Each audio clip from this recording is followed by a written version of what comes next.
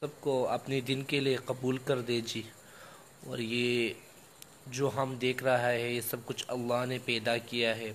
یہ سب کچھ اللہ ختم کرے گا۔ تو کچھ بھی نہیں تھا۔ زمین سے لے تک، فرش سے لے تک حرش تک، اور چمٹی سے لے تک، جبرائیل علیہ السلام تک، اور ایک قطرے سے لے تک، سمندروں تک۔ ذرے سے لے تک، پہاڑوں تک، سب کچھ اللہ نے پیدا کیا ہے۔ یہ سب کچھ اللہ ختم کرے گا۔ ابھی آپ سے نے فرمایا، عقل مند وہ ہے، موت سے پہلے پہلے موت کے لیے تیاری کرے۔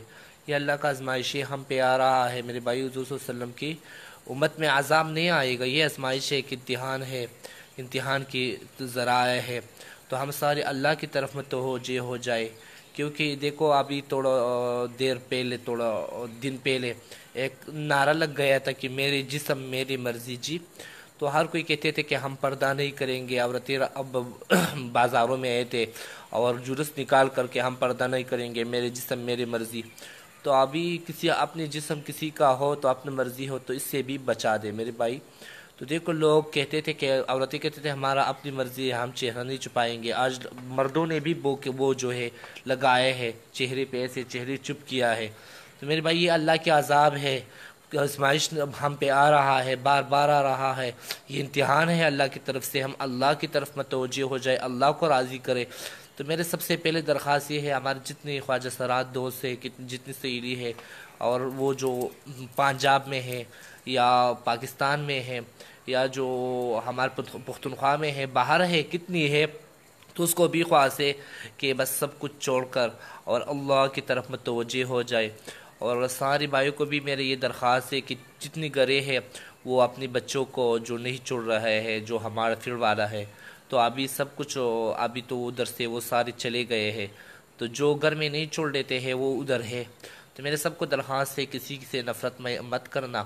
اور یہ اپنے گھر میں اپنے پاس بلا دو، ہمارے جتنے دوست ہیں، اپنے ساتھ اپنے ماں باپ کے ساتھ زندگی گزار دے۔ تو پتہ نہیں ادھر سے اللہ پاک اس عذاب کی وجہ سے، اس امتحان کی وجہ سے اس کو ہدایت کر دے۔ تو ادھر بھی آیا ہے ہمارے گاؤں پہ، ہمارا ایک دو سہیلی تھی۔ تو وہ پہلے سوات میں ناچتے تھے تو ابھی آج آئے ہیں وہ ادھر۔ تو میں انشاءاللہ اس کے پاس بھی کش کروں گا۔ ہمارا گاؤں کو قریب ہے۔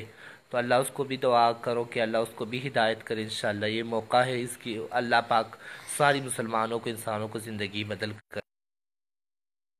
اللہ آپ استغفار اور لوگوں کو دعوت دے رہا۔ اور انشاءاللہ اللہ سے مانگ مانگ کر یہ عذاب اللہ ختم کرے گا۔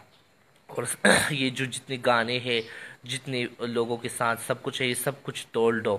جو ناچنے گانے والی چیزیں ہیں، یہ سب کچھ چھوڑ دو۔ بس اللہ کی طرف میں توجہ ہو جائے کہ اللہ ہم سے ناراض اللہ ہم سے ناراض ہوا ہے، اللہ راضی ہو جائے۔ جی ہاں، بس اور کوئی حل نہیں ہے۔ اور کوئی ہمیں کچھ بھی نہیں آتی۔ بازاریں بند ہو گئی دفتریں بند ہو گئی ابھی ہم کیا کریں میرے بھائی؟ تو اللہ سے معافی مانگ کر۔ اللہ سے معافی مانگ کر۔ جتنے بھائی انشاءاللہ، آپ میں ابھی ایک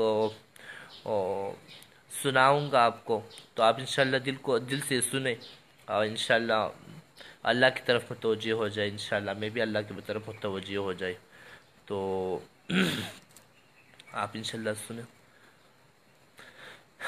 میں تیرے سامنے، میں تیرے سامنے میں تیرے سامنے جھک رہا ہوں، خدا۔ میرا کوئی نہیں، اللہ تیرے سوا۔ میں تیرے سامنے، میں تیرے سامنے جھک رہا ہوں، خدا۔ میرا کوئی نہیں۔ اللہ تیرے سوا میں تیرے سامنے۔